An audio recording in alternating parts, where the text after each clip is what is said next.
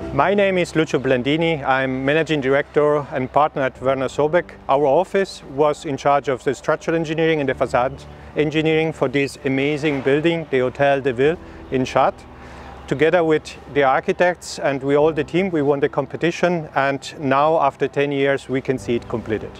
The special thing about this project is the high level of sustainability we could reach. We got a, a special certification, high quality, environmental quality. And the second uh, challenge was how to embed this modern building within the historical context of, of the city of Chartres. So we are here on the back of the site, but you can see then uh, the Hotel Montescot, which is an historical preserved monument from out of the 17th century. And you see how the uh, new part of the building is actually relating to that. And the fact that we use glass for the facade is helping because it mirrors then the different texture, the different buildings here around, and it creates a relationship. So we are here in the middle between the two facades. You have the glass on the outside reflecting and generating thermal performance. The interior facade is done by uh, a local stone which is taken close to Chartres. It's called Pierre de Berchères and this is how we create a special relationship to this to this place and it was a special wish from the major to get uh, to get this kind of relationship and I think it works pretty well. We made some special efforts on the detailing at the interface between the facade and the structure. For instance, I said we have steel columns, so part of the steel columns are embedded here. We have steel beams, and the steel beams are adjusted in such a way that, uh, that fits the space that we have in the facade.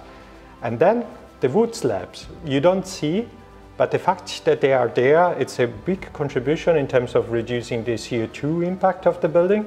And it's a contribution because it becomes lighter. And uh, this is actually nice to see in construction site, the real wood, but it's also nice to see it working done in a final setup as it is here now.